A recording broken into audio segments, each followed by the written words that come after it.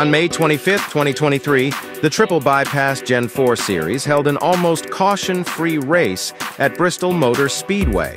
The 180-lap event featured intense competition and just two yellow flags.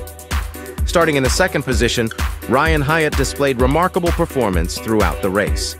He maintained a strong pace, leading 177 laps and recording the fastest lap time of 15.12 seconds. Hyatt's exceptional driving skills propelled him to victory.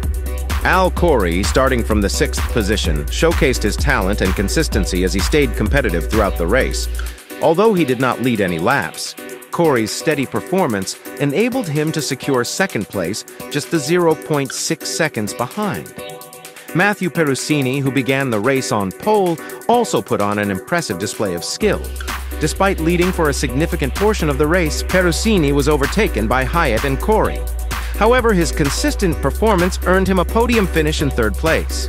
Sid Kashishian, starting from eighth place, managed to secure fourth place and earn valuable points for the race. His strong performance highlighted his resilience and competitiveness on the track despite challenges. Ben Harcum, starting from the ninth position, delivered a commendable performance. With consistent driving, Harcum steadily climbed the leaderboard, securing fifth place at the checkered flag. His strong finish earned him 39 points and solidified his position in the season standings. In the overall season standings, Matthew Perusini maintained his lead with 440 total points.